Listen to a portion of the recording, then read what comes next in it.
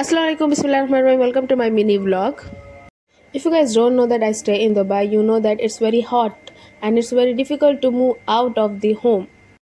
So I thought of making something very delicious crispy juicy at home itself. So I have I was having some cauliflower in my fridge.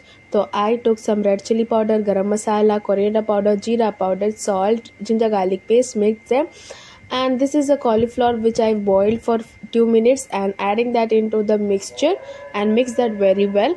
Then add a um, corn flour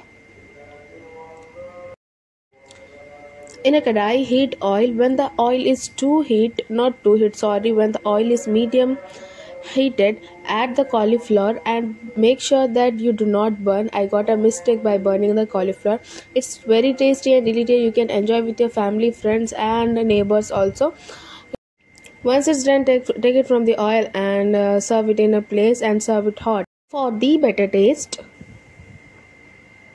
If you like my video subscribe to my channel and comment down below what is the next recipe that i have to share with you guys. So that's it for today video. Take care. Bye bye assalamu alaikum and thank you so much for watching my video. Assalamu alaikum bye bye